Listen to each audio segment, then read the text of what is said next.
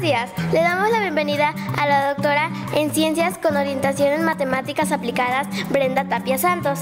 Muchísimas gracias Gretel, buen día. ¿Por qué decidió estudiar matemáticas? Mira, yo como tal no quería estudiar matemáticas, debo confesarlo. Yo lo que quería era dar clases. Y cuando estaba en la prepa, pues me di cuenta que me gustaban las matemáticas. Entonces dije, ¿y por qué no dar clases de matemáticas? Y así fue como me di cuenta. Y cuéntenos, ¿usted eh, cómo era de chiquita? Ay, te va a parecer bien raro, pero yo era bien seria de chiquita. Lo único que tenía yo como diversión, vamos a decirlo así, eran las prácticas de danza folclórica, porque ahí sí, desde chiquita me gustó mucho el, la cuestión del baile. ¿Nos podría decir en palabras sencillas para nosotras las niñas qué es una científica matemática? Mira, a veces cuando uno piensa en un matemático, piensa en una persona que todo el tiempo está trabajando con números y la realidad que no es así. Nosotros como científicos matemáticos, en particular yo como científica matemática, lo que hago es utilizar las herramientas matemáticas para explicar fenómenos. A mí me gusta trabajar con fenómenos relacionados con la realidad, particularmente con poblaciones, con ecología o con enfermedades.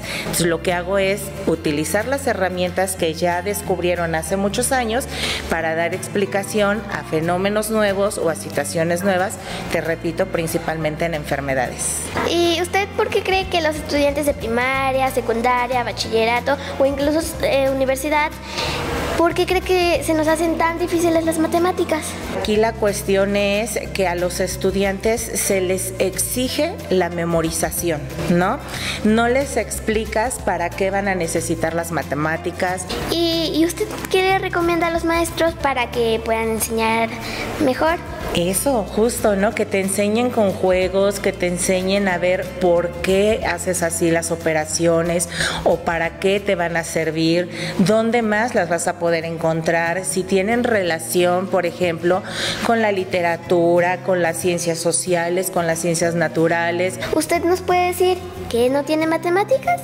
En todos lados hay matemáticas, aunque la página del libro, el número de colores del arco iris, cómo se están formando los patrones, este, en todos lados, ¿no? O sea, no, no, no creo que haya algo en donde no haya matemáticas de por medio. Y usted, a nosotras las niñas, ¿qué nos recomienda si que quisiéramos ser científicas matemáticas como usted? Pues primero que se pregunten y se cuestionen todo lo que hay a su alrededor. No se queden con la curiosidad, investiguen, busquen, pregunten. Yo, yo quiero ser científica, yo también quiero ser científica. Quiero investigar de la naturaleza. Ajá. ¿Te gusta la ecología?